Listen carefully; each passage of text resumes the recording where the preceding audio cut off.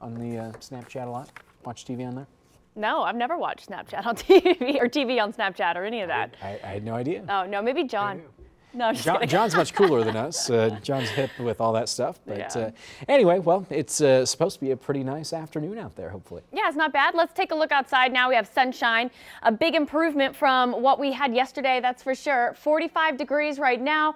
The winds are out of the north there at 6 miles per hour. And again, we're seeing mostly sunny skies as we start our midday off. You can see storm shield radar nice and clear. Again, yesterday we had a lot of rain that came across the areas, that very light rain, uh, but now it's looking a lot better. And even those high level clouds that were out there this morning have made their way on out. So low temperatures this morning, we were down to about 34. Uh, we saw a few areas just below freezing there this morning as we uh, were waking up.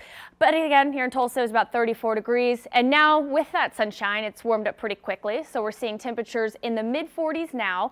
You have those upper 40s just to the south, about 47 in McAlester. 43 in Tahlequah, and then over towards Vinita and Grove, those low 40s as well. So high pressure settling on in, which means we'll have pretty quiet conditions now over the next couple of days. And winds are out of the north today, but they'll start to shift out of the south then as we head into the next few days. And with that high pressure, it'll get a little warmer. For today, though, very seasonable. Going into that 2 o'clock hour, we'll start to see those temps get up into the low to mid 50s. We'll see lots of sunshine. It's a very quiet future track. Uh, overall, you can see really not much even to talk about, not even really a cloud in the sky today. But temps should get up closer to about 50 by lunch. 54 by 2 o'clock, and then by this afternoon, we'll see highs top off closer to 56 degrees. So it's just a very pleasant day uh, overall. Now, again, the winds start to shift tomorrow. So when they start coming out of the south there, we see those temperatures really warm up. So look for 67 tomorrow with sunshine.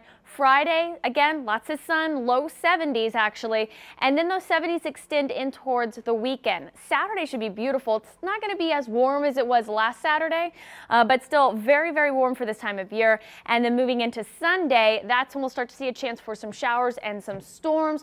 We'll look for overnight showers and storms on Sunday night going into Monday, and then Tuesday, maybe even a few of those storms lingering, but uh, those temperatures still staying in the 70s. We're looking at a fairly warm week for next week. Daniel?